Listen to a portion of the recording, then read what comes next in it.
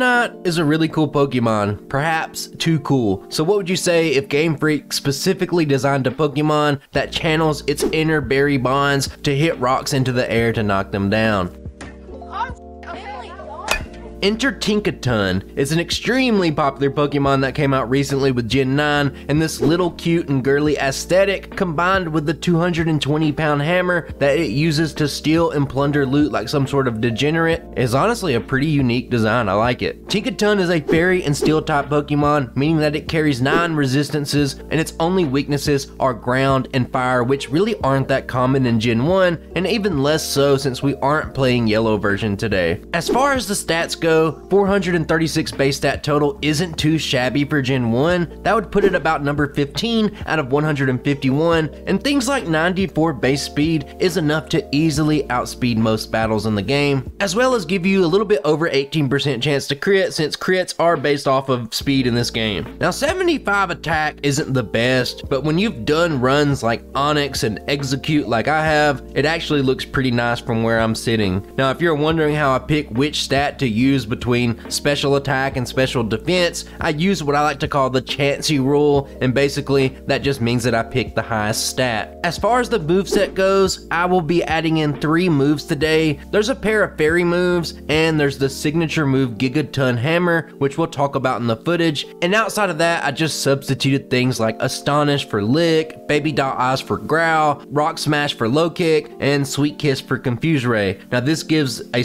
pretty solid moveset overall, that keeps it as close as I can to the Gen 9 Learn set without adding like 30 custom moves. And if you're new, you might be wondering what's going on. And the long and the short of it before you comment down below is that I utilized the PokeRed assembly. I built my own custom ROM. I added in things like Tinkaton, new moves, new types, and everything that's needed to keep the flavor of the new Pokemon intact while keeping the rest of the game as close to vanilla as possible. Just like last time, I had to make the the sprite custom on my own. And guys, let me introduce you to this. I think it's fine overall, it's pretty accurate, but for those of you who don't know, Generation 1 was hard limited to around a dozen palettes that it used for every Pokemon, and within each of those palettes, you were limited to just four colors, and two of those colors are black and white. This means I had to do my best to use this almost red color and a very light pink to differentiate the hair, the hammer, and everything else, and it was actually quite challenging, but let's not linger around for too long because honestly, I'm ready to get into the action. And before we begin, I'd like to quickly say that if you enjoy the content, likes and comments are really what help letting YouTube know to recommend this video to like-minded individuals. So if you're someone new, maybe you're someone who just never interacts with the videos, or maybe you're a returning subscriber like Julio's Motivation, just scroll down and type in Dinger.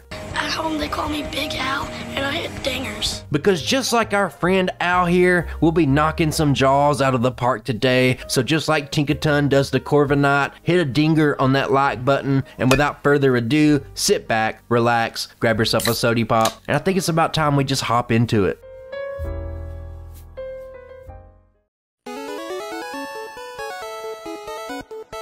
This run will be broken into two segments. The bulk of the video will be my very first blind run where I didn't plan anything out and I'm just kind of getting an idea of what the Pokemon can do. When the first blind playthrough is over, we'll quickly go over the fixes, changes, and overall optimizations that will take us to Tinkaton's final form. I don't do this style of video often, but I do think seeing the blind run does help to give a little insight into solo runs in general, the whole process of doing it, especially if you don't watch things like my Friday live streams. Let's go over the starting learn set, and there are going to be two new moves here. First off, we have Lick, it's an awful move, and Growl, which is never going to see a single use over the entire playthrough. The first new move is going to be Fairy Wind. It's nothing special, it has no effects, and for all intents and purposes, it's just the fairy version of Tackle, and overall, there's just not much to say about it. Now let's take a look at Gigaton Hammer. This this is the signature move of Tinkaton, and it's extremely strong. First off, let me say that in Generation 9, this move's effect is that it cannot be used consecutively, but today, to avoid me doing a bunch of extra coding, we'll be Gen 1ifying it by making it just have the Hyper Beam recharge effect. This move has a base power of 160, and as of today, there are only three moves that exist that have a higher base power, and two of those moves are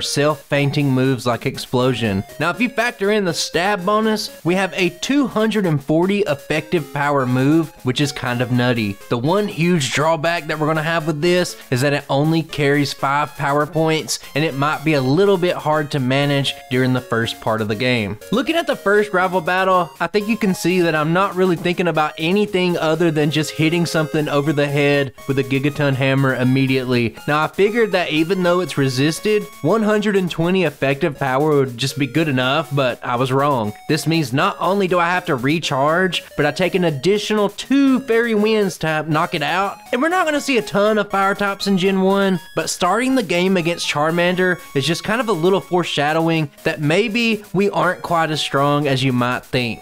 Outside of that, I do the bare minimum and we can just go straight to Brock.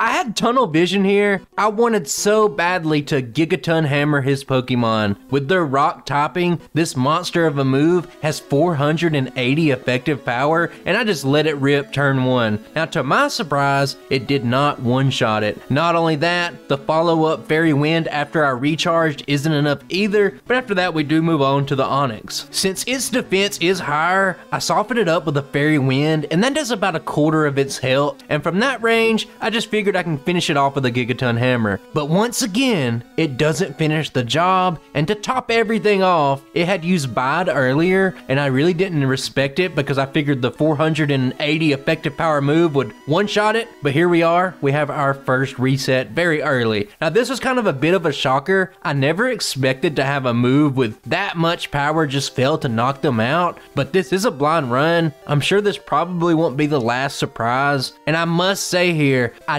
didn't fathom having to reset there, and I never saved the game. That means that I have to start the run completely over, which isn't too bad. It's not that big of a deal. The solution here seems obvious. I did the bare minimum battles, and we fought Brock at a measly level 7, so even something small like hitting level 8 for that damage rounding threshold should make things just fine. Tinkaton is in the medium slow leveling group, which is the second best one in my opinion outside of the very rare fast experience group, and just on the very first optional bug catcher, I do hit level 8 when the fight ends. Now on a blind run, I'm going to be a little bit more cautious, so I battle the next optional trainer too, and that puts us at level 10, and you can see the wonders of the medium slow leveling group in action today. Now the drawback here is that I have to use the very limited PP of Gigaton Hammer, and that does force me to heal before we go back to Brock. Now as for the rematch with the rock solid Pokemon trainer, level 10 makes a world of difference. My huge hammer slaps the Geodude down in one blow, but the Onix with its high defense still survives, but at that point, it's kind of just cleanup duty and we can actually progress in the game. Now there's a lot of runs that start off with powerful moves like Psychic or Ice Beam, and the run usually revolves around careful management of power points to get the most out of that move so that you don't get slowed down just using worse moves in general. Now the difference between those runs and today is that we only have a measly 5 power points and it's going to be really hard to avoid healing during the first half of the game at least. The problem with the learn set is that if you're trying to preserve Gigaton hammers, the poison types that are going to be really plentiful during this early part of the game are going to resist Fairy Wind, and overall, it makes this little part of the game feel really unintuitive, and it's definitely in need of some cleanup on further playthroughs. I do have to heal once again before Mount Moon, and from here, I have a sneaking suspicion that Misty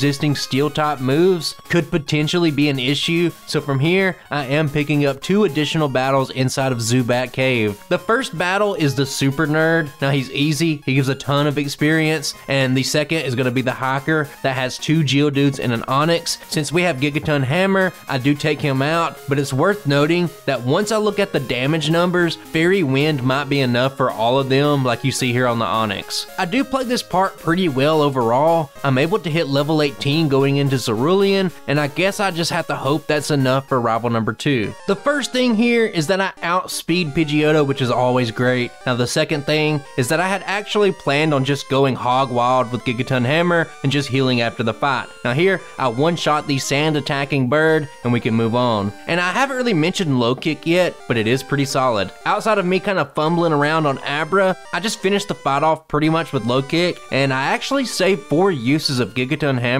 and with that, I think I'm just gonna try to go from here and just make it through Nugget Bridge without healing. At the end of the day, it's, it's really not that bad. You can see on this last battle that it does get really tight, but I didn't use the elixir, so I do have that option later. Now the first thing to note is that I do replace Lick with Confuse Ray, and all of my damaging moves are now resisted by poison outside of me expending my limited uses of Gigaton Hammer on it. With tons of rocket battles and Koga coming up eventually, that could slow us down quite a bit.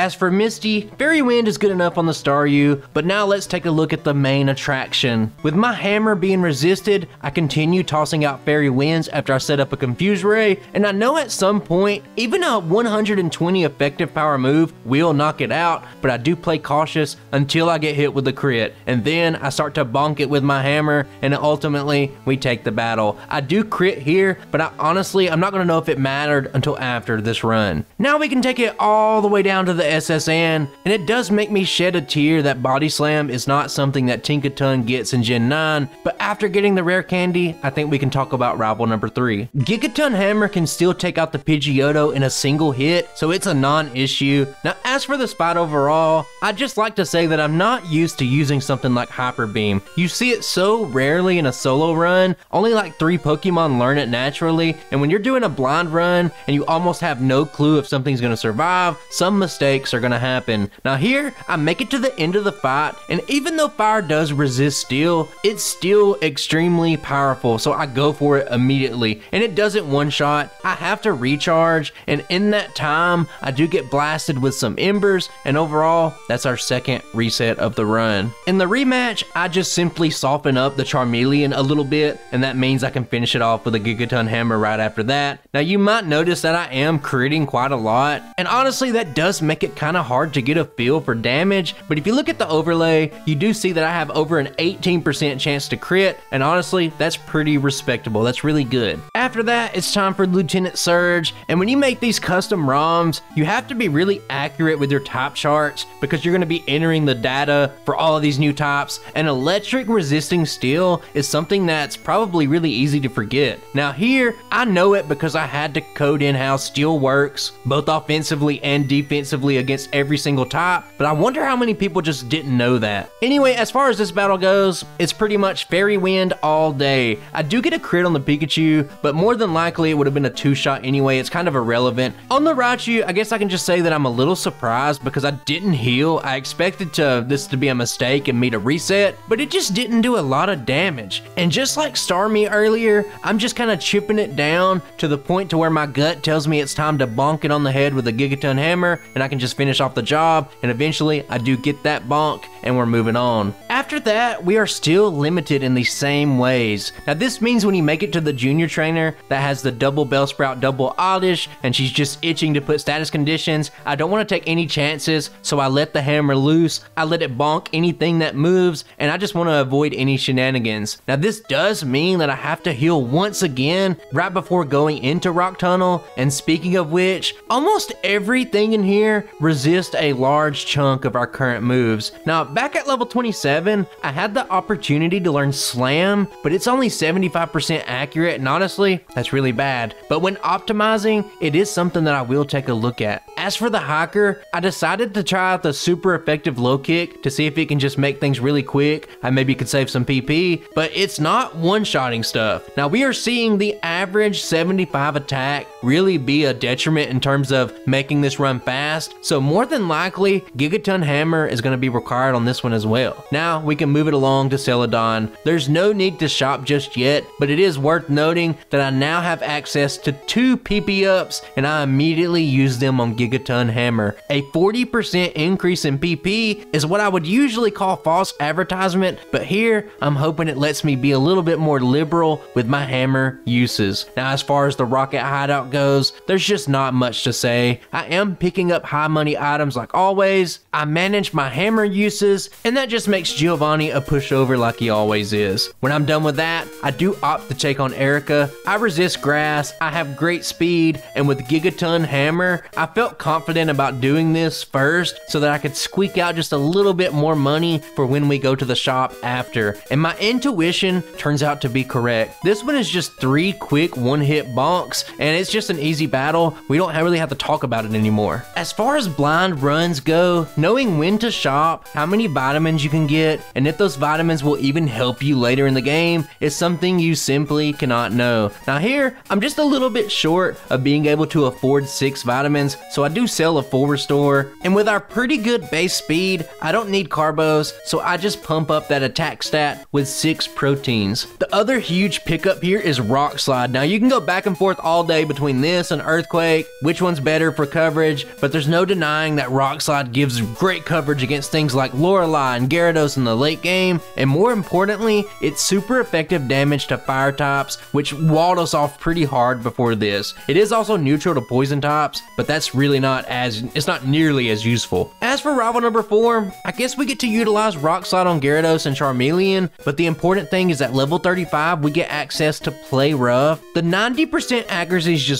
not my favorite thing in the world, and normally it has a 10% chance to lower attack, but in Generation 1, things that do the same thing like Aurora Beam have a 33% chance instead, and that's why it's higher here. Essentially, all this is going to be good for is to be a good dragon slaying move, but I'm not sure even then how much it's going to be needed outside of just doing some whatever damage on a fighting type or something. Now moving on from the tower, I do make my way all the way down to the Safari Zone. I gobble up the extra vitamins down here as well as get the final HMs of the run, and like always, I have a decision to make between Silph and Fuchsia for our next destination. Now today, I will be choosing Silph, and if you peep over at the learn set, you might get a little inkling of why I would choose to go here first. Now when I'm done with the typical errands, I go to the 7th floor for the very beautiful TM Swords Dance. It's just sitting there waiting on us. Now this will likely allow us to not have to grind anymore for the rest of the run, and a two-stage attack boosting move combined with Gigaton Hammer honestly has me tingling inside. It got me excited. After that, we can take a look at rival number 5, and there's no need for a fancy transition today. Now I will say that in blind runs, it's really hard to know just how much you need to set up, and generally, you're going to be on the cautious side of things, and you're going to set up all three, but here, I just do one. This allows me to get the sweep ready, and outside of Exeggutor surviving a rock slide, the single boost is enough. Now, what's impressive to me is that I do not have the speed badge boost just yet, but I still outspeed things like Alakazam and Charizard, so that's actually really promising. Now, overall, when you have an easy time on this fight, it generally bodes well for the rest of the run, and I am very happy with this result. From there, let's go down to Fuchsia for the next gym, and on the first juggler in Koga's gym, I want you to notice how poison gas still poisons me despite still being immune to poison. I honestly can't explain this behavior on a technical level, but if I had to guess,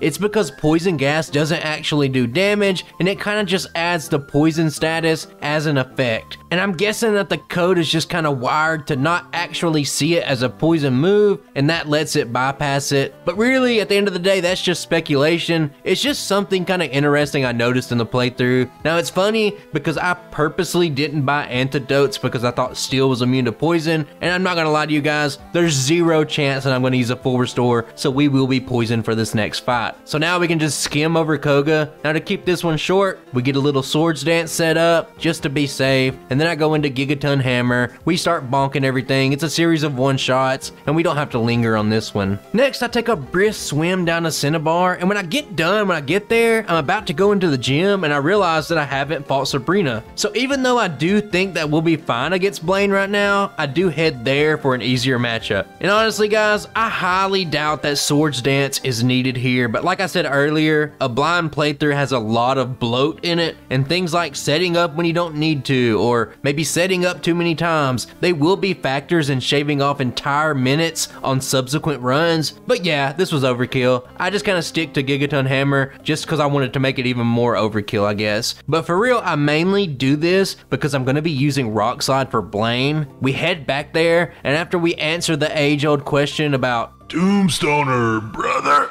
Let's see if one of Tinkaton's weaknesses can finally give her some problems. Now, people that are actually familiar with solo runs probably know the answer to that is an emphatic no. Here, I set up every single one of my swords dances that I can, but I do get burned by an ember. Now, normally, the burn status is a death sentence to physical attackers since it's going to be having our attack. But with the Swords Dance boost, I can not only offset the burn, I can actually still get a sizable attack boost after that. Now this allows me to do what you would expect. I sweep the fight with the super effective rock slide, and just like that, we're moving on to the last gym. Now we all know that red and blue version of Giovanni just isn't great, and like I mentioned, I likely overset up here just to guarantee everything's gonna go down in one bonk, and just like that, we don't even have to talk about it, the gym portion of the game is over with. Now after the fight, I used my very first elixir of the run just to save some time. Now it's worth noting that I was picking up extra ethers and max ethers in other spots of the game with the idea being that I could just use them on Gigaton Hammer and I could keep it going, but I never actually used any of them. Now when it comes to rival number 6, there's two important things to start off the fight to know. Now the first is that I resist every single move that the Pidgeot has, and the second thing is that this is the point of the game where it no longer has sand attack. Now this means I can very comfortably set up all the way and you guys know where this is to go from here. Now everything from this point on is just fodder and it's not even close. I do get an unlucky crit and I fail to one-shot the Alakazam, but it really doesn't matter. Now the only thing that this fight shows us is how much damage a flamethrower will do to Tinkaton. I missed my initial rock slide and honestly, the flamethrower doesn't even do that much damage. It's a lot less than you would actually think, and I just finished the battle on the next turn. Now looking ahead at the Elite Four, I just I'm just kind of winging it here, but I really don't see anything ahead that would pose a huge challenge. If you watch my other videos, you know in the optimized runs, I often have a lot of spots where I use early rare candies, and that's just because I get a lot of value in terms of experience out of them, as well as I can just push my damage ranges up to make fights more comfortable. But here, I haven't used a single rare candy for the entire run, and because of that, I am going to skip the Victory Road candy. Before I head into Lorelei, I do use 9 of my 10 rare candies because I'm saving one for the champion fight to reset my experience. But with that out of the way, let's see if this is going to be as much of a cakewalk as I think it's going to be.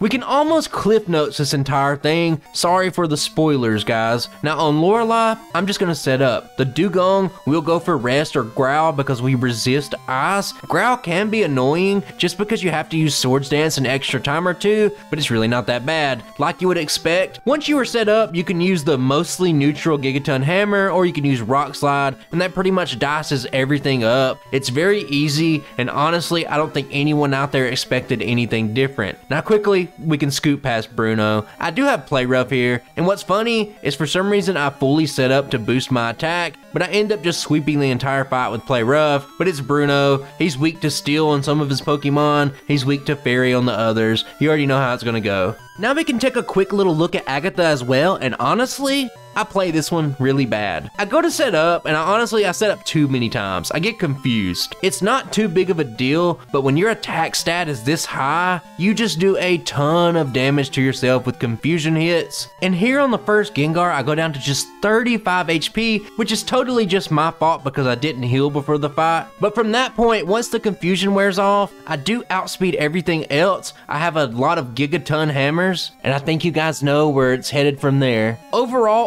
offensively, there just wasn't much Agatha could do, and realistically, me hurting myself like that over and over until I faint was about her only win condition.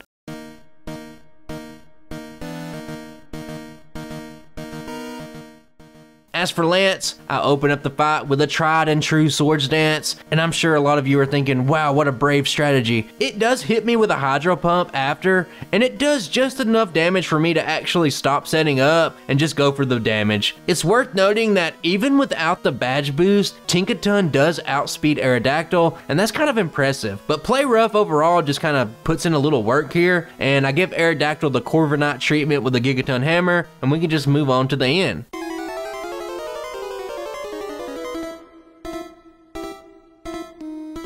The Champions Pidgeot is going to function about the same exact way as the last time. There's no sand attack here, and I resist every single move. Now, I'm going to fully set up. No one's going to stop me, and I'm sorry for the anticlimactic Elite Four, but this one is essentially a done deal. Now, since I had such an easy time on this Elite Four, I do a little bit of testing here. I try to see if, like, the Gigaton Hammer can one-shot the Gyarados and the Charizard even though it's resisted, and it still does. Now, the Bonk just honestly doesn't care if you resist it, especially when it's backed by Swords Dance. And at the end of the day, I take the battle, and Tinkaton finishes this run incredibly strong. Our first time here is 2 hours and 51 minutes and 31 seconds. It's respectable, but there's still a lot of work to do to optimize. Now, I guess for some blanket thoughts on the first blind run would be that this one is a little bit slow at the start, but it really picks up about the halfway point. I think learning damage ranges where Gigaton Hammer will one-shot, as well as learning when you just overall don't need it, will actually help out a lot. And earlier rare candies might make those little things a little bit faster, but we'll see guys, don't go anywhere, because coming up next, we got the optimized run.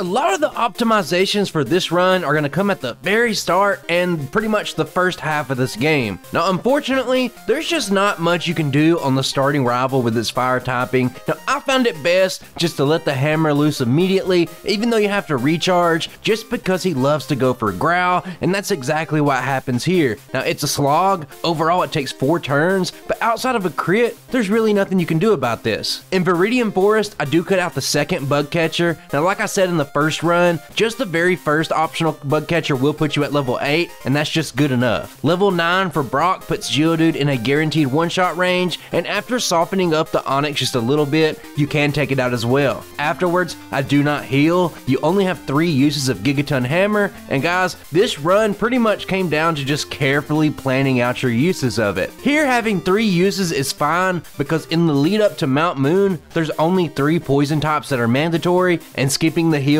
after Brock saves just a little bit of time. As for Mount Moon, I do the exact same thing, but Gigaton Hammer isn't required for the optional hiker. Fairy Wind is a guaranteed one shot, you don't have to waste your valuable PP. At the end of Mount Moon, I still hit level 18, even though I cut out an early battle, and that just kind of demonstrates how insignificant a lot of early game grinding can be as you progress later in the game. Now on the blind run, I pressed on to the entirety of Nugget Bridge after arrival number 2. Now here, I use my remaining 2 PP of Gigaton Hammer on the first trainer just so I don't waste them, and then I return to heal after. Right here is going to be a pretty big optimization. I wasn't happy with the damage numbers in some testing, and using two rare candies very early here gives you the most value to kind of smooth out this part of the game. And guys, remember that Nugget Bridge and the route to Bill's house is the most trainer rich segment of the entire game. And I'm just going to focus on this aspect of the run one more time because it's just so key. The management point of Gigaton Hammer is everything for this run. I use all five of my hammers on targets that would be a two or three shot otherwise, and this time when I beat the hiker, I use the elixir immediately so that I can keep up this pace. At the end of the round, I also pick up the ether, and I'm actually going to use them rather than just spending a ton of time overhealing in Poke Centers. Another bonus of these early rare candies that wasn't necessarily planned was that you do hit level 25 going into Misty. This puts the Staryu in a guaranteed bonk range, and on the Starmie, I would have used it, but it used the turn 1 X defend, and at that point, straight Fairy Wind is the better play. The next thing I did was that I completely cut out the rare candy on the S.S. Anne. The gentleman with the two fire tops, it just simply took too much time, and the fact that I didn't even use rare candies on the blind run meant that this was just a good opportunity to save some time. Now let's talk about Surge for a second. Now, in my damage calculations with my software, it should have been a 100% chance to knock out the Raichu. So I didn't heal here. I put myself at risk because according to my calculations, there was no risk. And what turns out to happen here is I don't knock out the Raichu.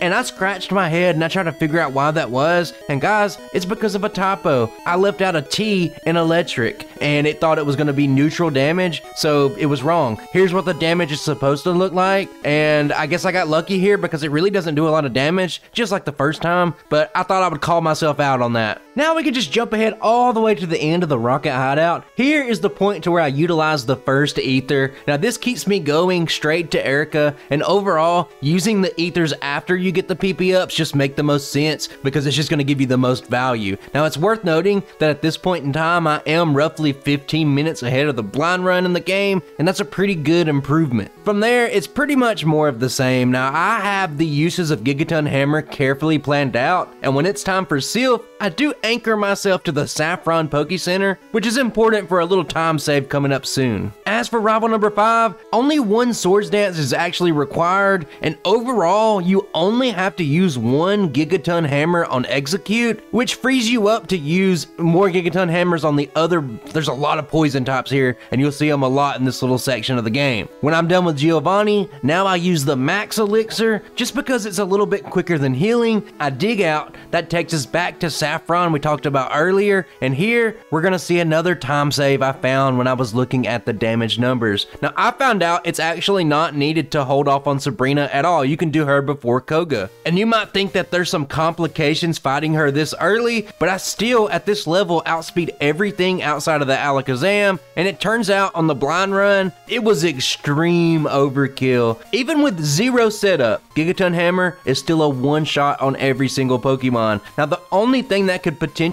slow you down is if the Alakazam uses Reflect, but we don't see it here and we never have to know. When I'm done with that, I do fly to Viridian to heal, and just like with the Saffron Poke Center earlier, I'm strategically anchoring myself here, thinking about the end of the game. This is something that I've only recently started doing, and I'll talk about it soon when it becomes relevant again. As far as Blaine and Koga go, we don't have to watch these fights. Koga, for example, only takes one setup, and Blaine can take one or two. I did go with two setups on Blaine just because Rock Slide only has 90% accuracy, and it would take the same amount of turns regardless. So now, let's talk about that anchor earlier. I haven't healed since I flew to Viridian when I showed it in the clip like 10 seconds ago, and taking that small amount of time earlier means that now when I dig out of Blaine's gym, I'm already in the city with the final gym. To me, it just feels pretty nice. It feels efficient. I don't know if it's actually great. Once again, I skipped the rare candy in Victory Road, and this time we do have less overall candies, but we do have just enough to reach level 55, which is nice for damage rounding purposes. Now, my friends, let's take a look at some little mistakes and all that kind of stuff I fixed with the Elite Four. So on Lorelei, you only need a single Swords Dance. Gigaton Hammer will do its job from there, but you do need to swap to Play Rough for the Slowbro because it's a little tanky. And honestly, guys, it just felt really good to bonk Jynx over the head with this Gigaton Hammer. It's one of the first things I thought about when I was envisioning this run. As far as Bruno, there's actually no setup required. Big shocker, Bruno's the weakest person. Uh, you could just go straight Play Rough, even on the Onixes, you'll just one-shot everything guaranteed. Now looking at Agatha, this is definitely the part on the blind run that I overthought the most and wasted the most time. Now simply put, most of her Pokemon are just really frail, and I do outspeed every single one of them. And my friend's Gigaton Hammer is conveniently a guaranteed one shot on every single one of her Pokemon, and this is just a massacre. All you gotta do is hold down A, use Gigaton Hammer, and this one's over. It's actually really quick. Next up is Lance, and I opt to go with only one setup for this fight. Now, the only benefit doing two Swords Dance would give you is that it puts Gyarados in like an 81% range, but if you look at this, I have a slightly less than 40% chance to knock it out, so I just kind of roll the dice. It saves a little time if it pays off. Now, the first time, it doesn't pay off, but Lance uses a Hyper Potion, and the second Rock Slide does win that coin flip, and it takes us on. Now, the only real concession I noticed about the adjustment overall was that I don't outspeed the Aerodactyl anymore, but it can only hit me for resisted damage, and it's just honestly not that big of a deal. It's not worth changing the run for Aerodactyl. And finally, on the champion, the magic Swords Dance number is 2, and it's almost exclusively for Gyarados. Now, the jump from one Swords Dance to 2 maxes it out, and let's look at this. If you're looking at it and saying, Matt, 81.64 isn't maxed out, that's because it, it calculates the crits. Since crits ignore stat boost, and you can see here that a max range crit wouldn't knock it out. The calculations have to subtract my 18% crit rate, so this is maxed out, my friends. So when the dust clears and the time finally stops, Tinkaton finishes with a final time of 2 hours, 21 minutes, and 57 seconds. I was able to trim off around 30 minutes from the blind run, and I did the run flawlessly, but unfortunately, we're gonna start comparing these cross-gen runs against each other, and Skeledirge was it's just the best. It outclasses this run by about seven minutes. There's also a Groudon run. I don't know how it did just yet because I'm still. That's going to come out before this, but I haven't done it yet. Okay, so don't ask questions. So in the official tier list, the idea is that the A plus tier is reserved for those rare two hour and 20 minute runs that had some weaknesses like Gengar and Haunter. But if Tinkaton was a Gen 1 Pokemon on the tier list, I would probably make an exception. Now, it's less than two minutes over that criteria, but the flawless run is just hard to overlook. Now, at the end of the day, Tinkaton has an incredible mid and late game, and I think it might actually have the fastest Elite Four time from start to finish that I've ever seen. Now, if I would have given it another steel move at the start, or if this Pokemon just had something like a 90 or 100 base attack, then this run might be something that's really good and really scary. Now, overall, this was a really interesting run. I essentially started out with a stabbed Hyper Beam and kind of managing the run to avoid the recharge time as well as optimizing the very low 5 power points. It felt very restrictive and it's not something I'm sure that any other run I've ever done to this point has made me feel. And I think that's about it for me. If you made it this far, subscribe to the channel if you like solo run content. And if you haven't already and you want to help me out, leave a comment, hit the like button. Now, I would say perhaps I've been over editing the last couple of videos and they've taken me a little bit longer. And I think for the sake of just keeping up, I might dial that back just a little bit. But any feedback is welcome, especially if you like the editing. I would really like to know because it, you know, it's positive. It makes me want to keep doing it. And as always, special thanks to my channel members. I really do appreciate the support and it means a lot to me. Uh, I've talked personally to some of the new members and I tell them, I say, hey, I'm like a few weeks ahead on videos. And it might be a few weeks before you're actually in the videos, but they're all cool about it. They understand. So shout out to you guys. You're the MVP of the channel. And I think that's going to do it for me, guys. I think I'll catch you on the next one. Bye.